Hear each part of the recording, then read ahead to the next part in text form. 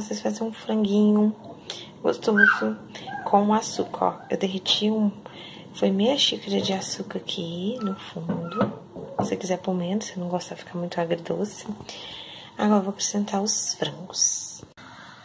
Bom, gente, a gente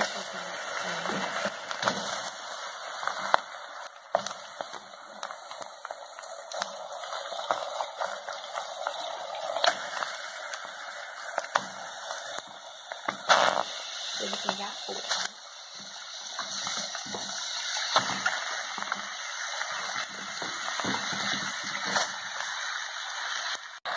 Agora vocês vai acrescentar três dentes de alho raladinho.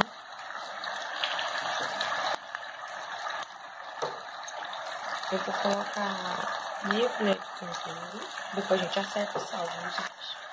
Vou tomar um pouquinho. E pimenta do reino.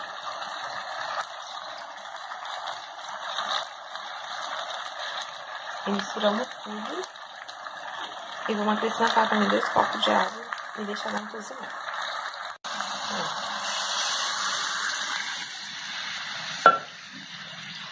Agora você acrescenta o suco de um limão. E deixa cozinhar.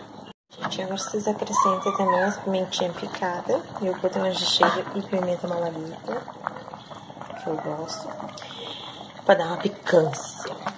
E, gente, ó, depois que você deixou uns 30 minutos, 40 minutos cozinhando para pegar bem o tempero, você joga umas cebolas picadas, grosseiramente mesmo, e deixa dar mais uma cozidinha por uns 5 minutinhos. Aí você desliga o fogo.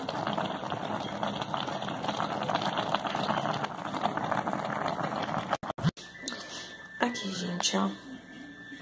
Aí você põe numa travessa de vidro e salpica cebolinha, salsinha por cima pra gente servir.